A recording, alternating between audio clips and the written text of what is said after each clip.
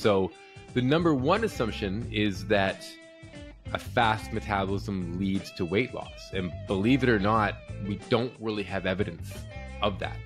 Um, the when you look at different cultures around the world, some that are lean, some that are overweight, etc., and you compare their metabolic rates, you're like, oh, man, they're all basically the same. Bringing you a reasoned approach to health and fitness. This is the Phi Life Podcast. Welcome to the Phi Life Podcast. I'm John Barban, and with me is Brad Pilon. And I got a question about um, eating in a caloric deficit or dieting and what does that do to your metabolism? Does it slow your metabolism down? The typical story Starvation mode. Yeah, here we go. mode, all that sort of stuff. Um, I guess this has been talked about ad nauseum over and over again, uh, but given that I keep getting questions about it, it seems as though it's not clear.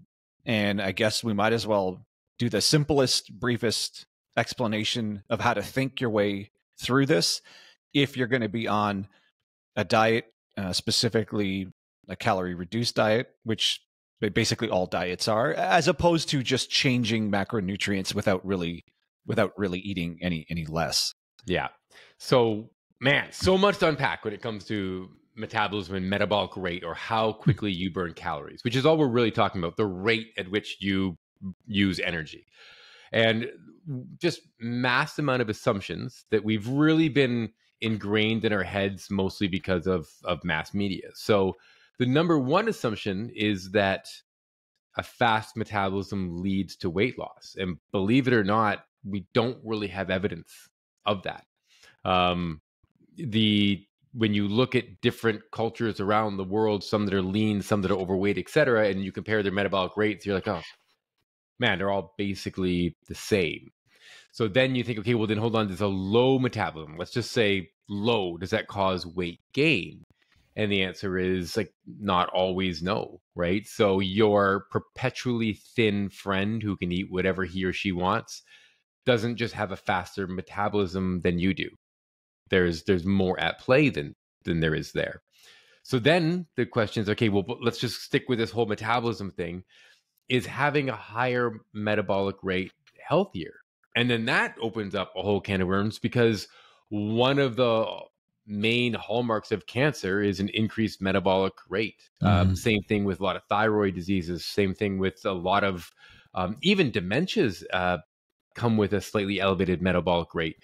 Obesity itself is associated with having a higher metabolic rate, and the very act of laying down new body fat during the initial stages of a high calorie diet where you're just starting to gain body fat is also associated with a higher metabolic rate.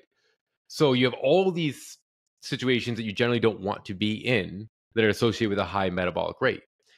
Then you stop and you think, okay, what about people with slow metabolic rates? And you realize that um, well trained athletes, uh, endurance athletes, those type of people, pound for pound, will probably have a slower metabolic rate than your average person, uh, along the lines of the same way they have a slower heart rate, right? So it gets very, very dicey. And then you start thinking, okay, but hold on, muscle mass, right? That's really important. Obviously, your lean mass is a main driver of your metabolic rate, which is true.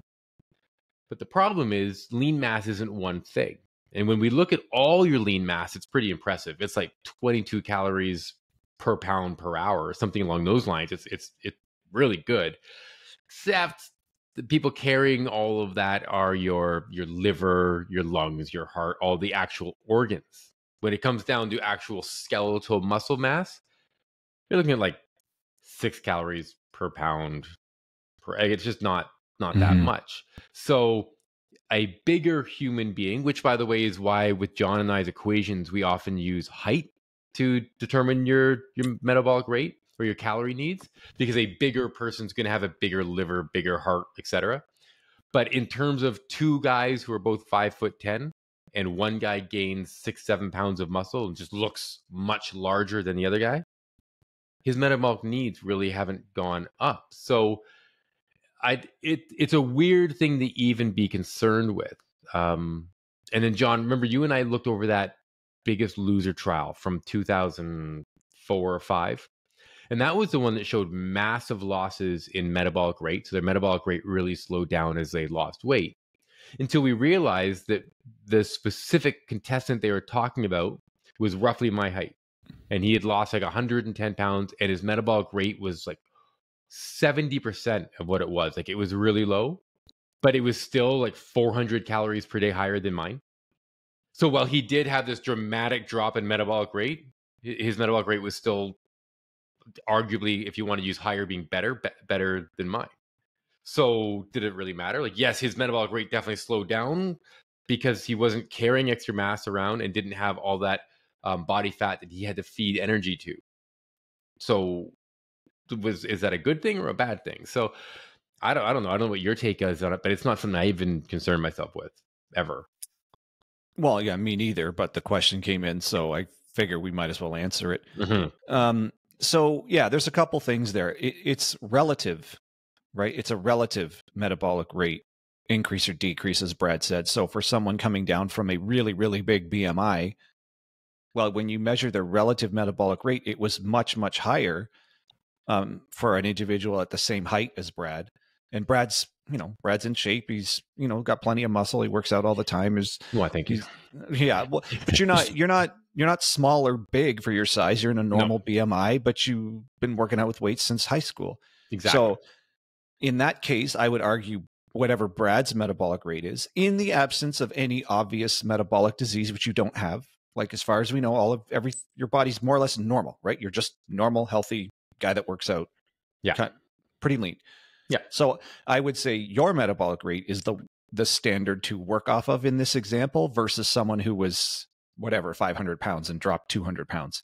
Yes. And his metabolic rate was way way higher than yours eh, when he was really really big and after he lost a bunch of weight his rate came down but it was still higher than yours. Yes. So what's the argument? Is that guy's metabolic rate when he was 500 pounds? Is that how it's, much it's supposed to be for a five foot 10 male? Or is his yeah. metabolic rate when he's still 300 pounds and it's lower than his used to be when he was even bigger, but still higher than yours? Is that the correct metabolic rate for a five so foot 10 he, male? When or he was is, overweight, mm-hmm. his body was doing more work. Mm-hmm. And that's your metabolic rate. So his liver was working right? The his his kidneys were working his gi tract was working and and then the musculature of his well actually even the cardiovascular system having to pump blood to all of that extra adipose tissue and all the massive amount of capillaries the little blood vessels that have been laid out to support that that, that takes work. You got to pump it through there. Mm-hmm. and then every time he, he would go up or down the stairs or go for a walk he's obviously doing more work than i am so the question is if if you were to cut down and let's say he went down from 350 down to my exact size of uh, 170 pounds but maintained his body doing that much work my guess would be that would feel horrible. Like that would feel like something is wrong i should probably go to a hospital. Like i don't it to it's just a measure of work being done and that to have a body that's doing that much more work meaning that liver is working that much harder or the the heart or some something is needing that much more energy is is a, actually a fairly scary proposition. Yeah i think it, the mistake is assuming metabolic rate has something to do with how you feel. Like you can feel it. You can't mm-hmm. unless you have like a an infection or a fever or something very obvious you can't really feel your metabolic rate changing. Yeah, in that situation, if you could, to your point, I don't think it would feel good. I think you'd feel mm. feverish and ill. Like it's, but it's not. It's mm. not energy, right? To, to no. your point. Yeah. That that's I think the mistake is assuming it's something to do with wakefulness in the sense that you have energy. I think to me that's caffeine. More, yeah. That feel, right? Or yeah. And you can show that stimulants cause a little bit of an increase in in energy expenditure. Yep. But it, it, so I I think it's taking that those senses of oh, but I feel more awake, feel more energetic after I have some caffeine. That must mean my metabolism is is moving faster. But it's not it's not really it's not really something you can feel. And if not you same thing, yeah. And if it's and if it's like Brad said, it's it's heavily dependent on how much work your internal organs are doing. If they're working too hard, that's usually an indication of something's not right. Yeah. And and I guess I mean, there is research to show if you calorie restrict, you can have you can show some decrease in daily energy expenditure, but totally. it's, it's it's nominal.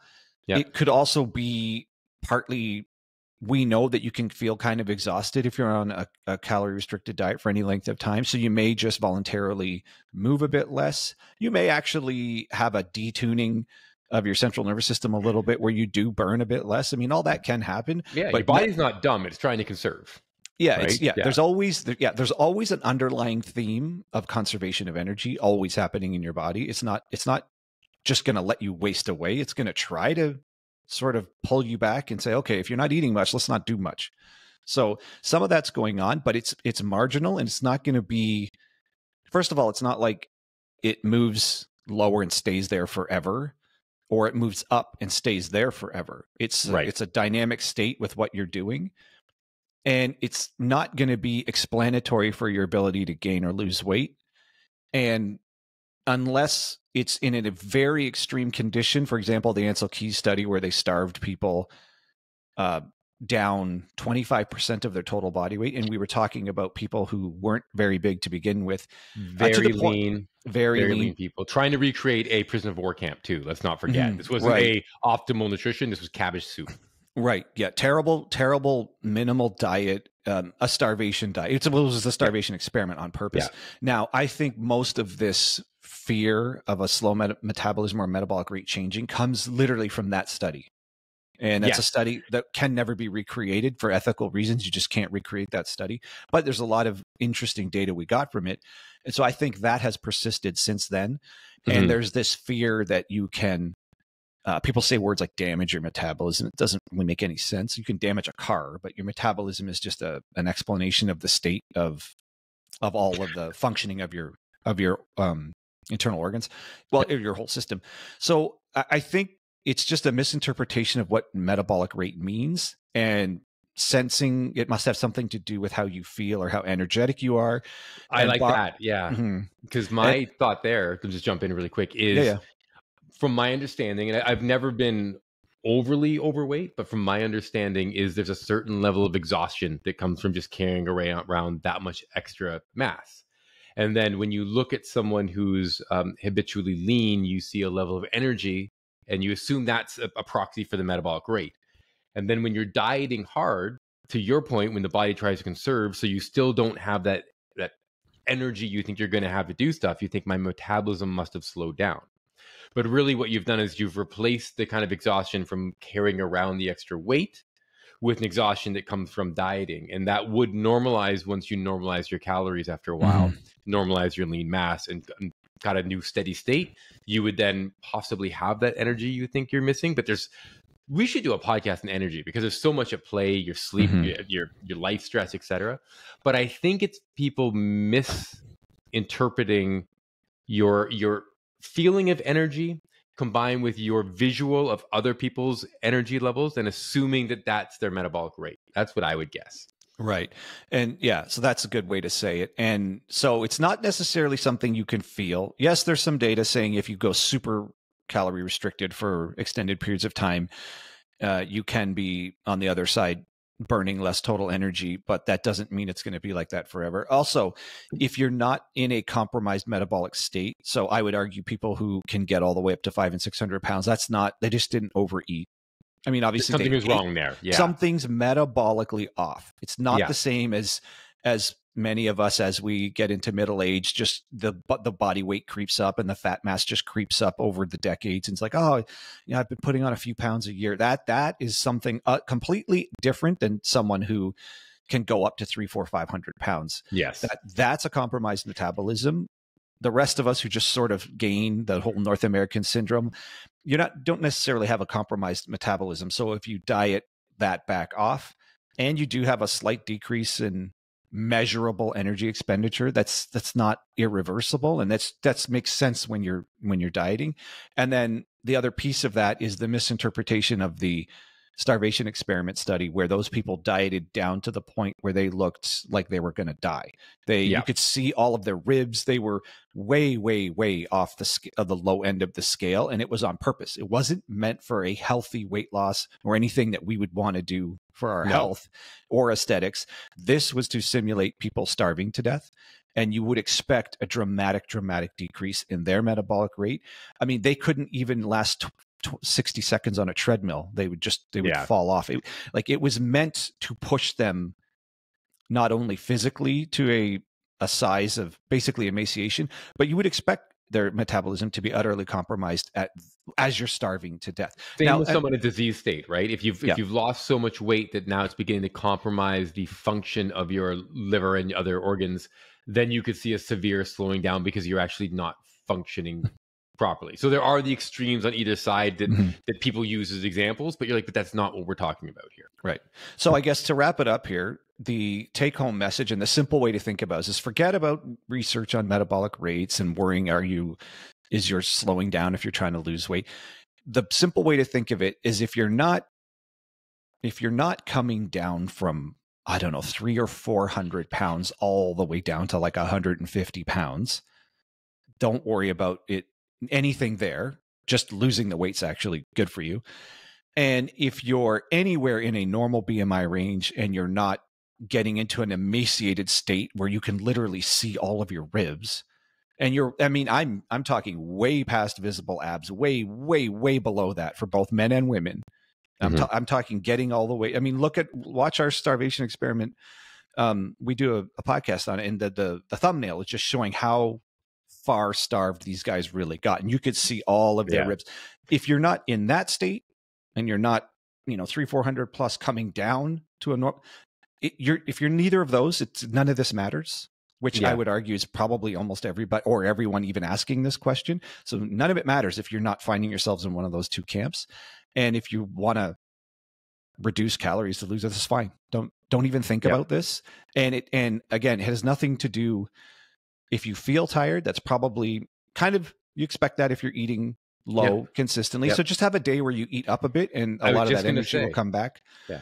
Or you've gone too low for for your daily activity and daily needs, and then Yeah. jump it up a little bit, right? Like it's Yep. take take the slower approach to weight loss. Sometimes some people can handle the the deep deep drops, right?